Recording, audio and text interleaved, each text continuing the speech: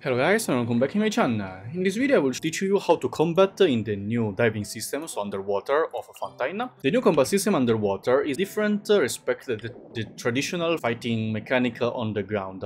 Here under the water, every character you pull will lose their attack, skill, burst and talents, besides some special characters who will have uh, special talent related to underwater, just like Lynette, which will heal you more when you bring when you get the fish. Underwater, every character's attack will be substituted with this type of attack. So by pressing the attack button, a small ball, will unleash arrow uh, wipe. So the main advice for you is to use the character with the highest amount of the HP underwater, so at least you will not die too quickly even if uh, you get hit by too many enemies, just like Zhongli. 60k HP, respect uh, uh, like Nahida only 16k, can survive for longer. This is the first advice.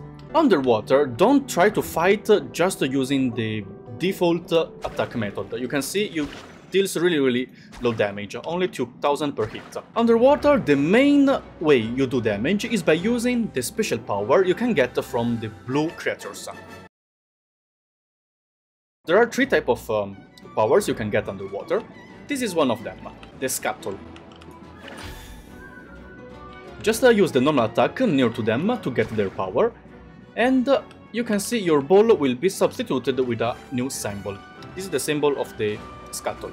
The Scuttle ability is, if you just press one time, you will do a shockwave around you, and you will gain a small shield to protect you from enemies' damage, as you can see.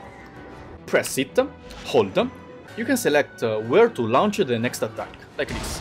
So we'll launch a powerful attack. 14k damage, respect your normal attack, only 2k is a really big buff, right? Now, there's another special ability of uh, the Scuttle. Okay, he's about to hit me.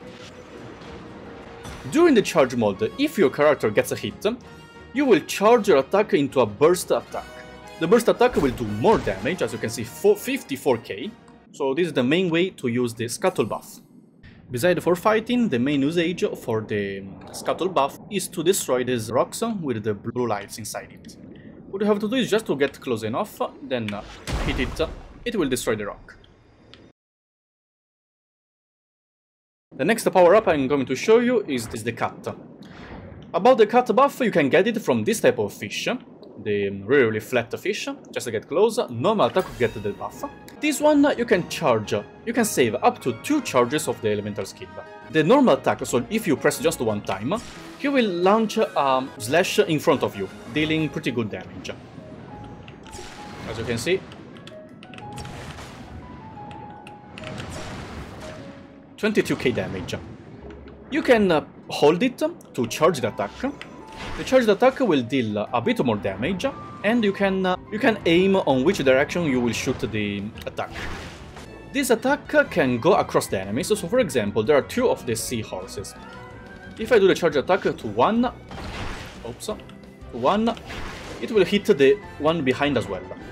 This buff is really useful against, uh, for example, this type of uh, boss, mini boss, which is uh, when they are linking to each other to charge the attack. Just a hit in the middle to break uh, the charge, as you can see. This is the second buff. While the usage of the blade, blade power up, outside of the fight is to, is to cut this type of wines. You see the glowing point, just aim and destroy. By doing this you will cut, uh, destroy. Um, yeah. The third and the last buff, this is the buff you can get from the Blubber Beast, which is the Echo. For example, yeah, let me take it.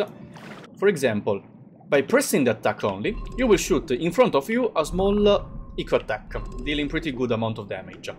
You can uh, hold to constant deal damage. For example, now I'm doing 80k. You can hold the skill, so you can see you will consecutively launches the echo's attack, dealing consecutively damage. And these three are the buffs you can get underwater of Fontaine. So don't fight anymore against enemies only by using the normal attack, because it does a really really solid damage. The normal attack is mainly used to get the power from uh, these blue creatures. And that's it guys. Hope this video helped you to understand how does the combat mechanic underwater works. Thanks for watching, and see you in the next video. Bye!